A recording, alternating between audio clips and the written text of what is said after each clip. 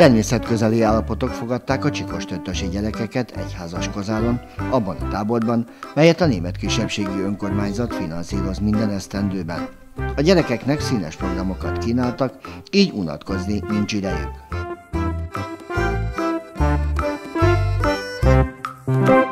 Nagyon jó programot állítottunk össze a gyerekek számára, remélem tetszik nekik, az ő kérésükre is, mert ez több évtizedes hagyomány, hogy minden év végén eljönnek a gyerekek négy-öt napra táborozni. Hon és népismereti bemutató volt a gyerekek számára. Megismerkedhettünk a lovaglással, holnap gyertyát fogunk önteni, nemezelni, és strandolni is elmegyünk, mert borzasztó meleg az idő, és úgy gondolom, hogy nagyon jó kikapcsolódás lesz a gyerekek számára.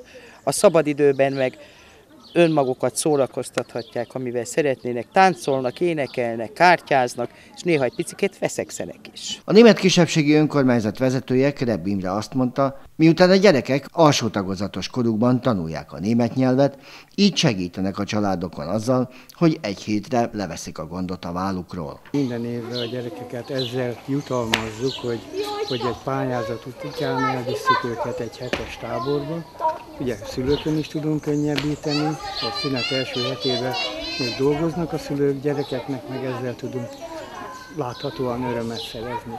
2012 óta folyamatosan a Német Nemzetiségi Önkormányzat szervezi a lelkes pedagógus és egyéb önkéntes segítők segítségével ezt a tábort.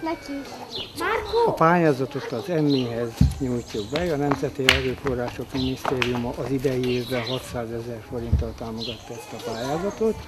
A különbözetet azt mi tesszük hozzá a Nemzetiségi Önkormányzat. Én úgy gondolom, hogy annyi pénzt össze tudunk a faluba a pályázatok és egyéb útján összegyűjteni, hát azt ez jó cél.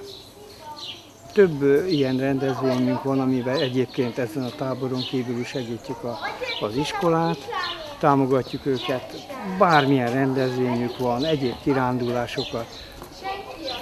Én úgy gondolom, hogy ez a legjobb cél, amire fordíthatjuk, és, és ezzel tudjuk a gyerekeket támogatni. Nagyon-nagyon szeretik a szülők és a gyerekek is. És már 15 éve körülbelül én vagyok a táborvezető, úgyhogy mi már nálunk le van zárva az év, és tudjuk, hogy hétfőtől tanévzárás után kezdődik az ötnapos nyári táborozás.